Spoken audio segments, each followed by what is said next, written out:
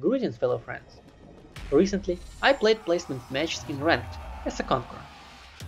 I will not show you every my game because you know when you play placement you run into a lot of low skilled opponents. I'm just gonna show you some best games of it. So lay down in your sofa, relax and enjoy.